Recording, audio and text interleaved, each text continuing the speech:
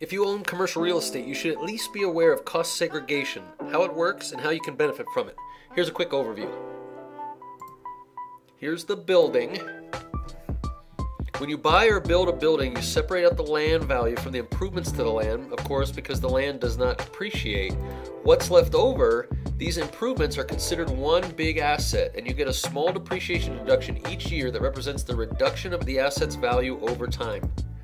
However, the tax law does allow you to reclassify this asset into components so you can benefit from greater depreciation deductions sooner. This tax strategy is called cost segregation. Here's how it works. First, let's look at site improvements. Site improvements are generally anything outside the four walls of the building on the property. Here's some examples we can reclassify these components, get a cost to them as it relates to the cost of the purchase or the construction of the building, and then those costs and those items then can be depreciated quicker than depreciating the building. The building is going to be depreciated straight line over 39 years typically, or 27 and a half if it's commercial residential property. So there's site improvements. Electrical, we're going to break up the electrical into its components. Electrical distribution, that's the service entrance equipment, the electric panels and the breakers.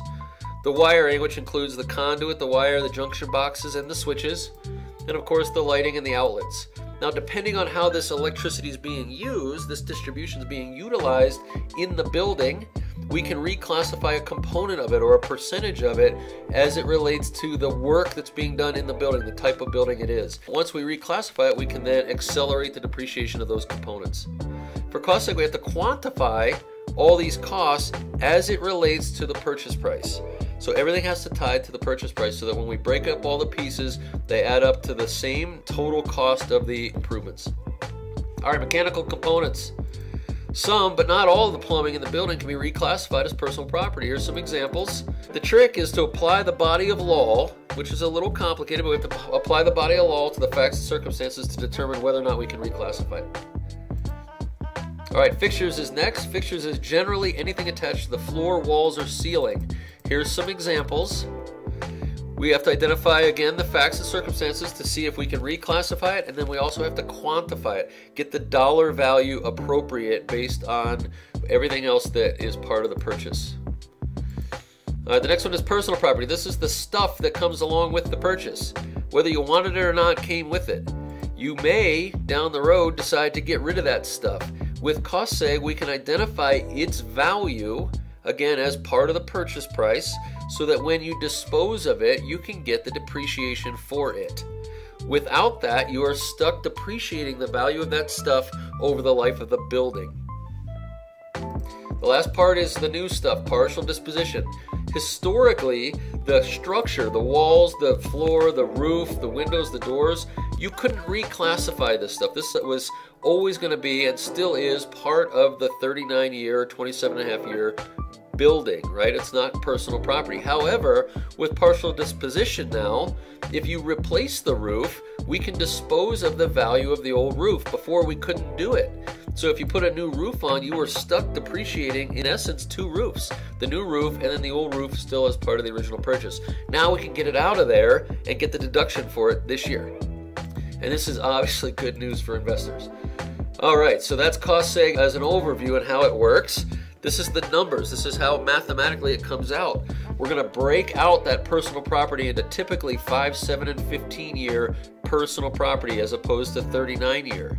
So if you did cost seg on a half a million dollar office building as an example, and you did it the year that you bought it, here's some estimated expected additional depreciation deductions this year, next year, and the following year. Right? Now let's say you didn't do cost seg. Let's say you've owned the building for three years and now you're looking at cost seg. The same building, but now we're three years into ownership, we have an opportunity called catch up depreciation. So that same building, same numbers, we get more deductions this year because we are three years behind in the depreciation based on this model. So we get all that catch up in the current year. So instead of 24,000, it's 85,000. Now let's say you wait till year 10 to do it. Now your five and seven year property should be fully disposed, but you're only 10 years into a 39 year cycle without cost seg. So again, same model. Now we have over $100,000 in deductions available this year. And you can see here, as is with all cost seg, Eventually, we have fewer deductions in the future because we took them early, right? And ultimately, what that looks like is very simply we say that this is a interest-free loan from the government. In other words, you're going to pay your tax bill this year with or without cost seg, and with cost seg, you can pay less this year. You'll eventually have to pay the same amount of tax because you're going to get all the depreciation one way or the other. But if you can hold on to the federal government's money interest free, then you can reinvest that. And the return on that investment while you're holding the money is really what cost seg benefits all about. So, does that look like that in numbers? I'll give you some examples. Let's say you need some cash for renovations of a new purchase, or perhaps you're looking for cash for your down payment on your next acquisition. Right? Ultimately, there is no cheaper money than an interest-free loan from the government. That's what we're doing here. Right? Let's say you borrowed $40,000 commercially from a lender at 5.5% interest as an example. He's going to charge you a loan origination fee, and you're going to pay it off over the life of the building. Let's say there's 25 years left. Your monthly payment would be $245 a month but your first month, 183 of that is interest. So after 300 payments, your total cost, your interest on this borrowed money that you're paying is $33,000.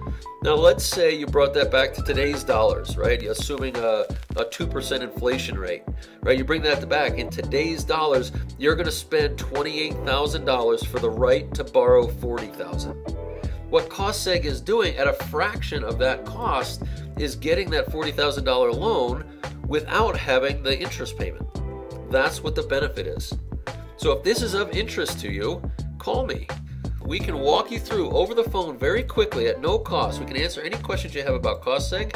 We can run a benefit estimate where we can show you your expected benefit based on your facts and circumstances. And then with that, we can then show you how to capture this cost seg benefit very efficiently. I look forward to hearing from you.